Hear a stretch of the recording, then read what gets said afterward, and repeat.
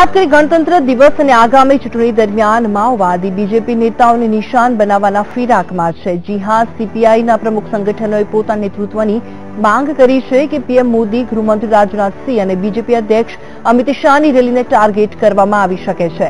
આ નેતાઓ પાંચ વિધાનસભા રાજ્યમાં ચૂંટણી દરમિયાન પ્રચારમાં ભાગ લઈ રહ્યા છે. કેન્દ્રીય સુરક્ષા એજન્સીઓએ આ વાતની જાણકારી સ્પેશિયલ પ્રોટેક્શન ગ્રુપને આપી દીધી છે.